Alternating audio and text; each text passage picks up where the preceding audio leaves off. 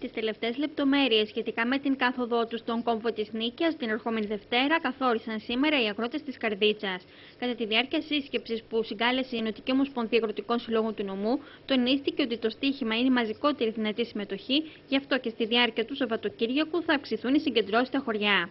Εκτιμάμε ότι αυτή τη στιγμή ε, υπάρχει διάθεση, ε, τρακτέρ είναι στα, στις πλατείες των χωριών και αυτή η διάθεση μέχρι την ε, Δευτέρα το πρωί θα μεγαλώσει και θα δημιουργήσουμε ένα μπλόκο εισάξιο και μεγαλύτερο ακόμα του περσινού για να και να αναδείξουμε και να διεκδικήσουμε λύσεις στα προβλήματά μας γιατί η κατάσταση της μικρομεσαίας αγορτιάς είναι ε, πολύ πιο άσχημη σήμερα και φαίνεται ότι θα είναι πολύ πιο άσχημη αύριο. Επίσης, συγκροτήθηκε η Επιτροπή Αγώνα για τον καλύτερο συντονισμό της κινητοποίησης.